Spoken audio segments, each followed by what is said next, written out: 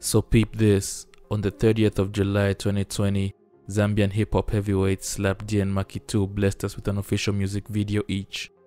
Slap Dee dropped Savuka, which featured his Coke Studios partner and South African house music royalty Busiswa, while Macky 2 dropped Early Riser, which featured Zambian gospel sensation Pompi. What made this drop more interesting was that both songs featured production from one of Zambia's best producers, Mag44, with Savuka being co-produced by Solomon Plate, an upcoming artist and producer. Many have gone on to speculate that these spontaneous drops were planned by the two artists as a marketing strategy to get people talking and stack up some organic views.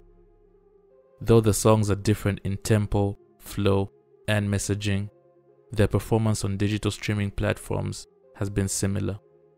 On YouTube, Macky 2's Early Riser has racked up an impressive 169,000 views, while Slap Dee's Savuka is sitting at 170,000 views at the time of this recording.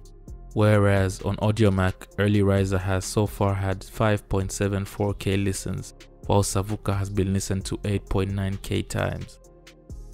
Which song did you prefer and why? Leave your comment in the comment section below and don't forget to like this video and subscribe to the channel.